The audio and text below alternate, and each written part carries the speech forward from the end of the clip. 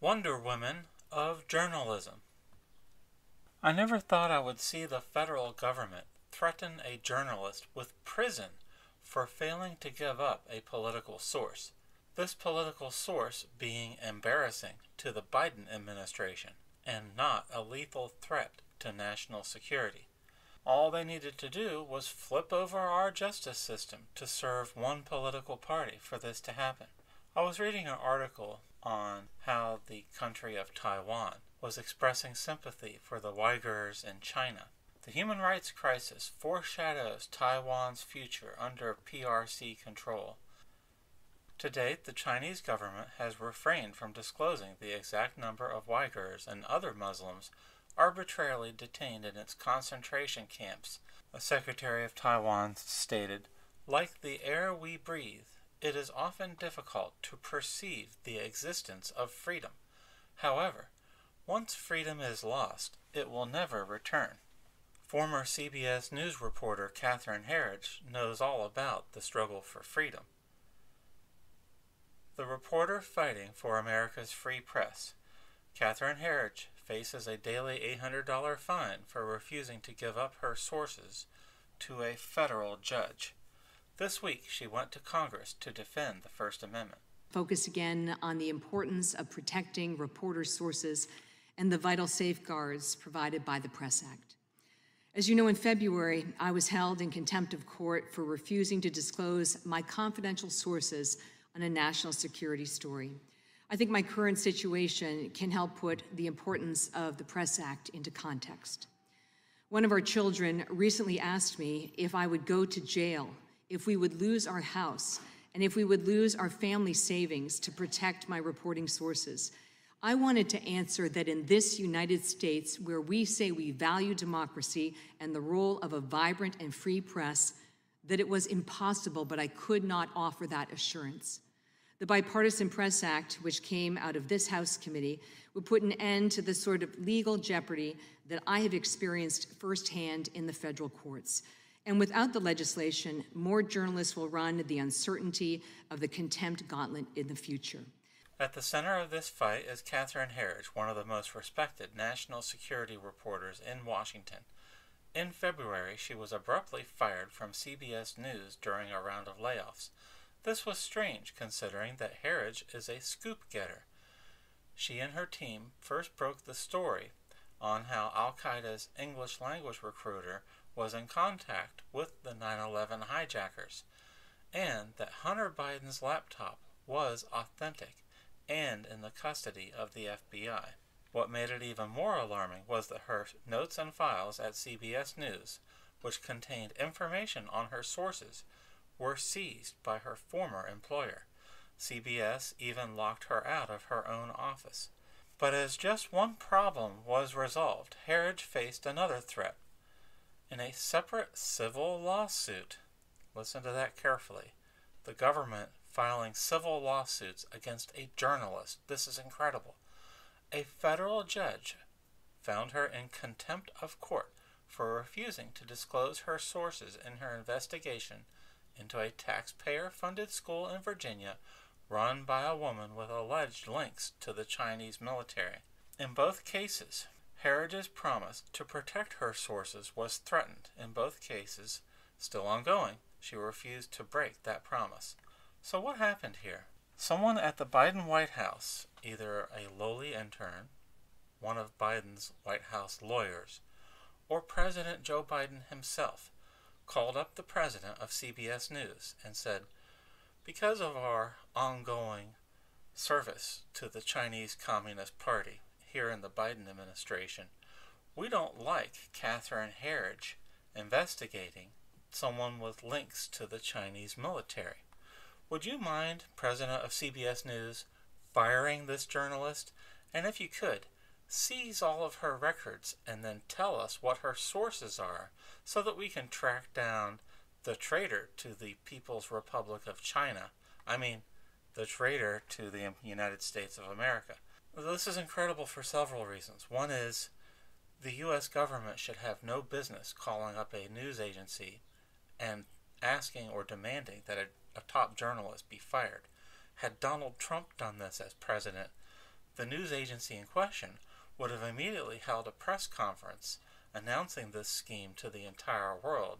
But Joe Biden does this, and not only does the president of CBS News not go public with this demand from the Biden White House, but the CBS president actually carries out the order. But then the Biden White House went further. They had the Department of Justice direct federal judges to go after this reporter and holding her in contempt of court for refusing to disclose her sources. Most reporters don't have $800 a day to pay fines, so this was clearly the intimidation by the powerful against someone with no power, a fired investigative journalist. Of $800 per day for your refusal to disclose your sources. This is deeply concerning, and what's more concerning, you are not the first. In an, in an article related to your case, the Washington Post reported how in 2005, five national reporters were held in contempt and levied fines of $500 per day. And in 2008, a USA Today reporter was held in contempt and faced daily fines of $5,000. All of these instances where reporters upheld their journalistic integrity and protected their sources to ensure good reporting for the American people, only to face rebuke and heavy handed enforcement by the courts, which are intended to protect the First Amendment. Ms. Herridge, how fundamental to reporting is the protection of your sources? Congresswoman, I have not lost a night's sleep about my decision to protect my confidential sources. That is the core of who I am as a journalist. I am facing contempt fines because I am upholding the most basic principle of journalism. If you cannot offer a source a promise of confidentiality as a journalist, your toolbox is empty. No whistleblower is coming forward, no government official with evidence of misconduct or corruption. And what that means is that it interrupts the free flow of information to the public. And as we all recognized, Journalism is about an informed electorate, which is the bedrock of our democracy. If you had asked me 37 years ago when I started working that I would be in the federal courts living a legal nightmare to protect my sources, I would never have believed it. I told you a story about my son. I'd like to finish it. At the end of the conversation, he said, Mom, you do what it takes. I've got your back. And I thought if a teenager understands how sacred this pledge is for every journalist, certainly Congress can pass the Press Act and codify these guarantees that will prevent cases like mine in the future. Thank you. Female reporters who have had the Obama Biden administration intimidate and order their firings. But in 2011, you reported on the Obama administration's Operation Fast and Furious operation in which ATF purposely allowed licensed firearm dealers to sell weapons to illegal straw buyers. Were confidential sources and, important, and, and information critical to informing the pub public about that scandal? Yes.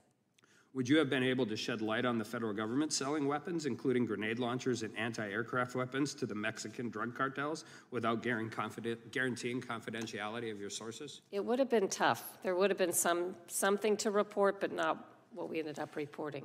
And when you were reporting on the security lapses in the 2012 Benghazi embassy attack, do you think you would have been able to shed light on the federal government's failure to maintain embassy security without guaranteeing confidentiality of your sources? Some of it, yes, but some of it, no.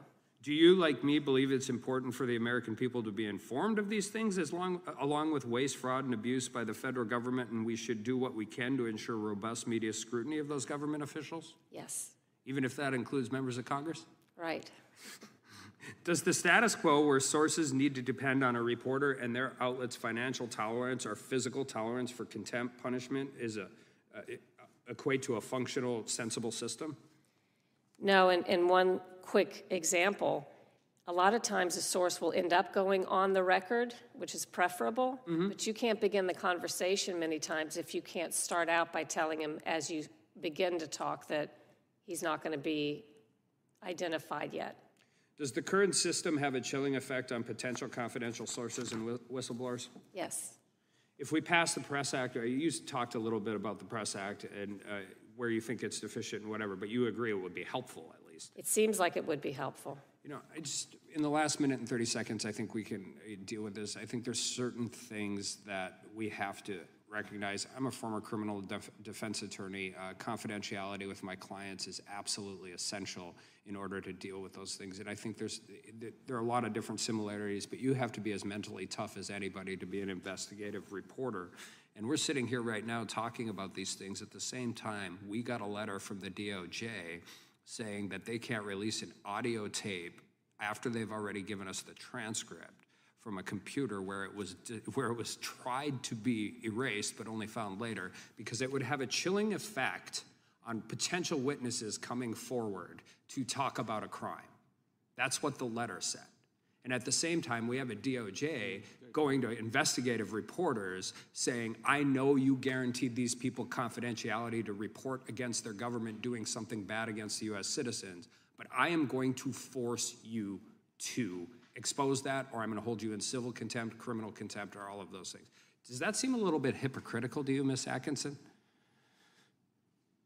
There are many things that seem to be double standard-ish, one way for them and another way for us. I mean, they, they're literally saying we can't reduce, we can't release something because otherwise we won't ever be able to investigate anything again, which by the way is patently false. But also at the same time, when they don't like something any of you all are writing, right, left, center, conservative, liberal, they say, I want to know who your source is. I get it. I really am in awe of watching these smart, intelligent, patriotic women defend themselves and the integrity of their line of work in the face of oppressive government run largely by progressive, white, liberal Democrat men. Women are under attack here by the very political party that claims to protect and represent women. And from what the ladies said yesterday, I felt I was watching a Wonder Woman or two testify. Well done, ladies. Strong, stunning, and the best of what America can be. Thank you.